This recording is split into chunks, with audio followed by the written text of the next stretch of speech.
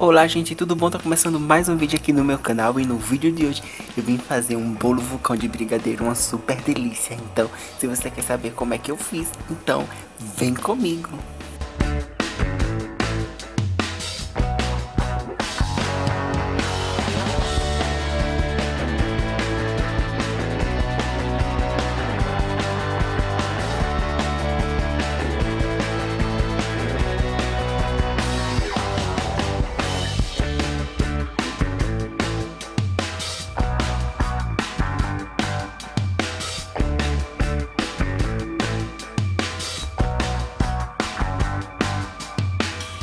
Para essa receita eu estou usando 400 gramas de bolo pronto, aquele bolinho pronto que vocês compram em supermercado. Meia xícara de leite e também vou botar 3 ovos e 3 colheres de sopa de manteiga. E gente, super simples e vamos bater tudo. Aquele bolo simples que a gente compra, faz. Ou se você quiser fazer outra massa de bolos, pode fazer também.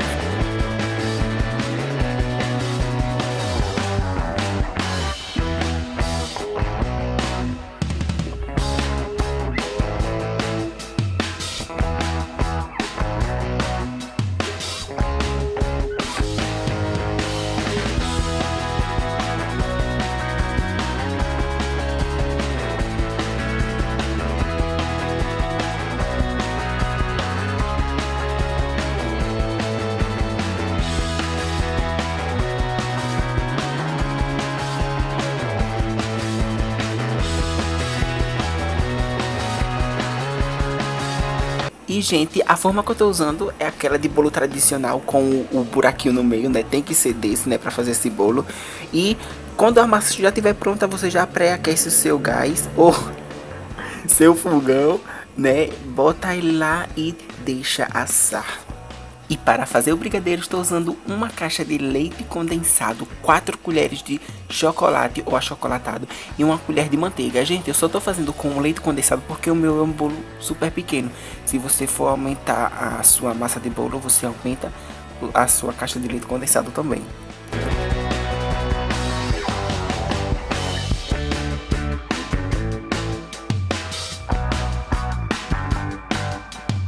E agora é só levar ao fogo e quando ele já estiver no ponto de brigadeiro é só você desligar e esperar esfriar.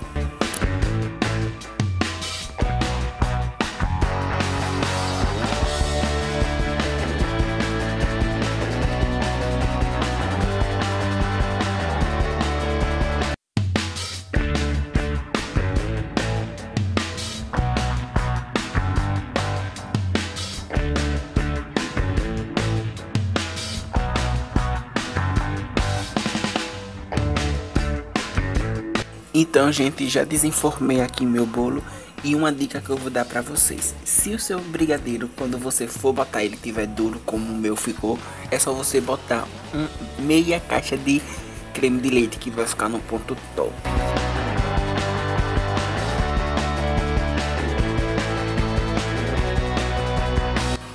E agora, gente, a gente vai fazer a melhor parte.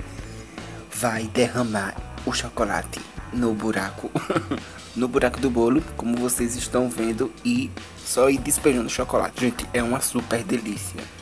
Sério, juro por Deus. Faça aí. Próxima etapa, que é a finalização. Você pode finalizar com, com o que você tiver aí. Eu raspei chocolate em barra, né? Ou você pode botar granulado, que você quiser, um brigadeiro. E eu raspei só para finalizar, para ficar mais bonitinho. Eu espero que vocês tenham gostado desse vídeo. Se vocês gostaram desse vídeo, se inscreve no canal, curte o vídeo, compartilhe. E até as próximas receitas. Tchau!